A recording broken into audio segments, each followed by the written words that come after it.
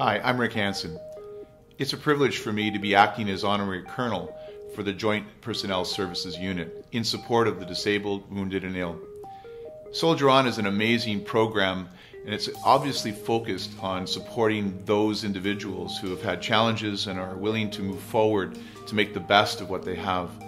Through the participation of sport, recreation, and outdoor activities, supported by an amazing group of people who are there encourage everybody to be the best they can be with what they have.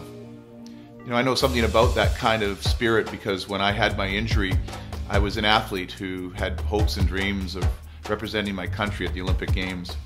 After my injury, it took a lot of support from a lot of people to make me realize that nowhere in the definition of an athlete does it say you have to use your legs in order to be one.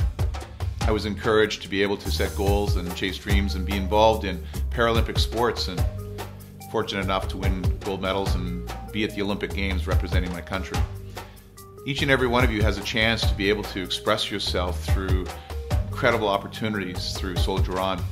I want to encourage you to think about possibilities, to believe in yourself, to work hard, to have fun, and to, and to just enjoy all that life has to offer. Take care, you guys, and never give up on your dreams.